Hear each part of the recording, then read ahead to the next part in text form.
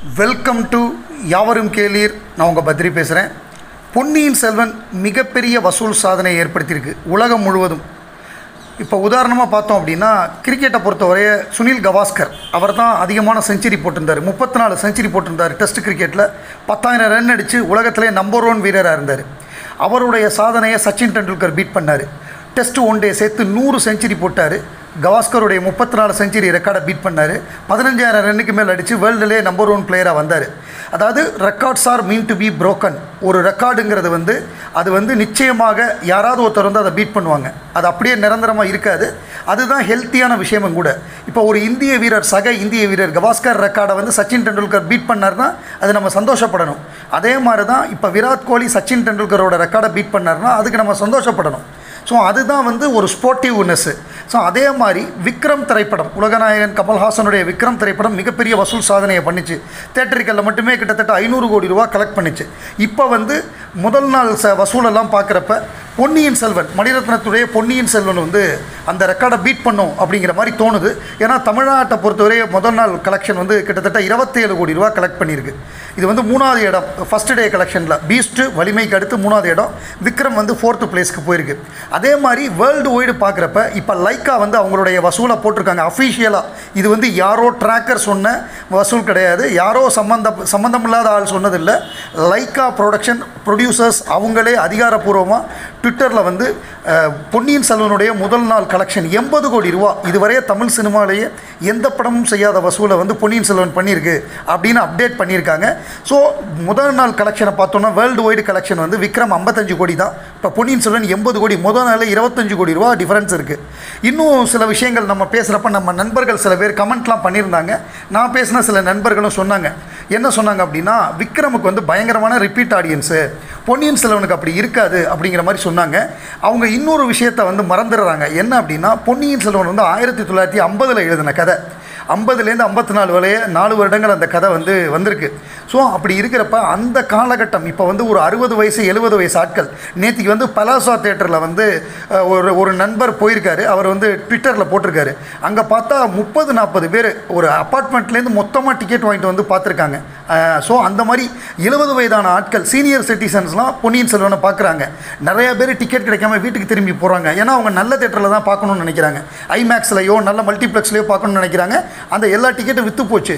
ரெண்டாவது இது வந்து பூஜா ஹாலிடேஸு ஆயுத பூஜை சரஸ்வதி பூஜை எல்லாம் வருது. ஸோ அந்த லீவு முழுக்க இந்த படம் ஹவுஸ்ஃபுல்லாக ஓடும். அப்படி இருக்கிறப்ப இந்த படம் விக்ரம் படத்துடைய வசூலை மிந்து முந்துவதற்கு விக்ரம் படத்துடைய வசூலை பீட் பண்ணுறதுக்கு எல்லா வாய்ப்புகளும் இருக்குது என்னோட ப்ரெடிக்ஷன் பொன்னியின் செல்வன் விக்ரம் படத்துடைய வசூலை பீட் பண்ணி தமிழ் சினிமாவுடைய நம்பர் ஒன் படமாக வசூலில் வரும் அப்படிங்கிறது என்னுடைய ப்ரெடிக்ஷன் அது நடந்ததுன்னா இந்தியன் டூவில் வந்து உலகநாயகன் கமலஹாசன் அந்த ரெக்கார்டை பீட் பண்ணுவார். இதுதான் ஹெல்த்தி நம்ம ரெக்கார்டை யாருமே பீட் பண்ணக்கூடாது அப்படின்னு நம்ம நானூறு கோடியிலே இருக்கக்கூடாது.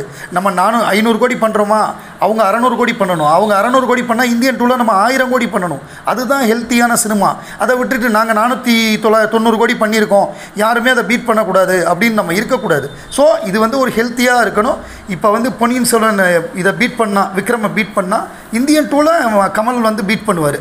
ஸோ கமல் சங்கர் காம்பினேஷனை அதை பீட் பண்ணுவாங்க அப்படிங்கிறது நிச்சயம். ஸோ இதுதான் வந்து தமிழ் சினிமாவுக்கு ஹெல்த்தியாக இருக்கும். இப்போ எங்கே பார்த்தாலும் பொன்னியின் செல்வனை பற்றி தான் பேச்சாக இருக்குது எங்கே திரும்பினாலும் இப்போ பொன்னியின் செல்வனில் வந்து ஒவ்வொரு கேரக்டர்ஸு வந்தியத்தேவனாக இருக்கட்டும் அதே மாதிரி நந்தினியாக இருக்கட்டும் குந்தவையாக இருக்கட்டும் இந்த மாதிரி எல்லா கேரக்டர்ஸும் சிறப்பாக நடிச்சிருக்காங்க. அதுலேயும் குறிப்பாக ஆதித்த கரிகாலனா நடித்த சியான் விக்ரம் பிரமாதப்படுத்தியிருக்காரு.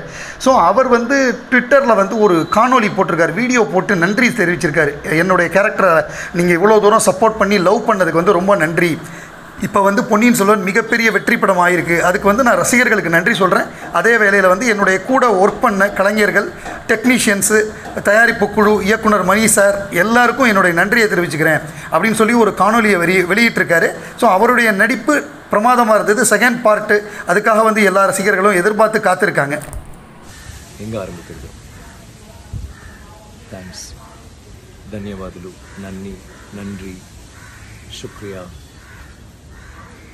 எந்த பாஷையில் சொன்னாலும் கேட்குறதுக்கு ஃபீல் பண்ணுறதுக்கு அவ்வளோ நல்லாயிருக்கு பொன்னியின் செல்வன் கிடைச்ச வரவேற்பு ஆதித்ய கரிகாலன் கிடைச்ச அந்த ஆக்ரோஷமான ஒரு ஒரு ஃபீட்பேக் ரொம்ப தேங்க்ஸ் இட்ஸ் லைக் நான் நிறைய படங்கள் பண்ணியிருக்கேன் நிறைய நல்ல கேரக்டர்ஸ் பட் இந்த மாதிரி நான் எப்போவுமே என் படங்களில் வந்து ரொம்ப பெருமைப்படுவேன். என்னோட கேரக்டர் என்னோட படம்ட்டு எல்லாருமே வந்து இது எங்களோட படம்னு சொல்லி நீங்கள் கொண்டாடுறீங்கல்ல?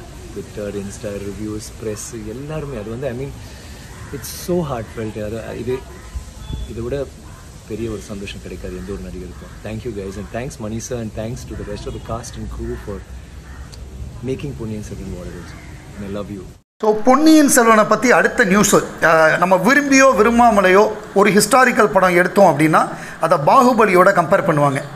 பாகுபலிக்கும் பொன்னியின் செல்வனுக்கும் சம்மந்தமே கிடையாது. பாகுபலிங்கிறது வந்து ஒரு கிராண்டியரான அதாவது என்ன சொல்கிறது ஃபேண்டசி படம் அது. ஒரு கற்பனை கதை ஒரு ஃபேண்டசி படம். பொன்னியின் செல்வன் ரியலாக நடந்த மனிதர்களுடைய வாழ்க்கை அது வந்து இந்த மாதிரி ஃபேண்டசியாக இருக்காது. பயங்கரமாக போர்க்களம் பத்தாயிரம் வீரர்கள் அந்த மாதிரி இருக்காது.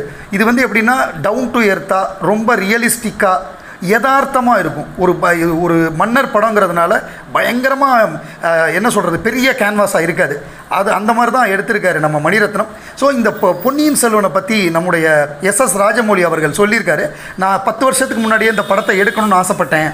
இந்த ப படம் வந்து மிகச்சிறப்பாக இருக்கும். இந்த நாவலை நான் படிச்சிருக்கேன். தமிழில் படிக்கல இங்கிலீஷில் தான் படித்தேன். பிரமாதமான நாவல். இது வந்து படமாக எடுக்கிறதுக்கு எல்லாமே நல்ல ஒரு க ஸ்கோப் இருக்கிறது. அதே மாதிரி இல்லை இதை வெப் சீரிஸாக எடுக்கலாமா அப்படின்னு ஒரு எண்ணம் இருந்தது. இப்போ மணி சார் வந்து அனௌன்ஸ் பண்ணிட்டாரு. நாம் பண்ணலான்னு சொல்கிறதுக்கு முன்னாடி அவர் அனௌன்ஸ் பண்ணிட்டாரு. ஸோ மணி சார் எப்படி எடுத்திருக்காரு அப்படிங்கிறத பார்க்குறதுக்கு நான் ரொம்ப ஆவலாக இருக்கேன் அப்படின்னு ஒரு பேட்டியில் சொல்லியிருக்காரு. இதை வெப் சீரிஸாக எடுத்தால் நல்லாயிருக்கும் ஏன்னா அஞ்சு பாகங்கள் கொண்டது. அஞ்சு பாகங்களை வந்து ரெண்டு படமாக எடுக்கிறதுங்கிறது வந்து சாத்தியமே இல்லை. அதில் எடுத்தால் நிறையா கேரக்டர்ஸ் விடுபடும். நிறையா முக்கியமான காட்சிகள் விட்டு போயிடும். அப்படி தான் இதில் இருக்குது நிறையா இப்போ குழந்தை ஜோதிடர்னு ஒரு கேரக்டர்லாம் பொன்னியின் செல்வனில் இல்லவே இல்லை. மணிரத்னம் எடுத்துருக்கிற பொன்னியின் செல்வனில். ஆனால் இப்போ குழந்தை ஜோதிடர்லாம் இதில் இருப்பார் கதையில் இருப்பார் நாவலில் இருப்பார். ஸோ அந்த மாதிரி இது நான் ஒரு எக்ஸாம்பிளுக்கு சொல்கிறேன் இந்த மாதிரி நிறையா விஷயங்கள் விட்டு போயிடும். அது விட்டு போகாமல் இருக்கிறதுக்கு நம்ம வெப் சீரிஸாக எடுக்கிறது தான் நல்லது.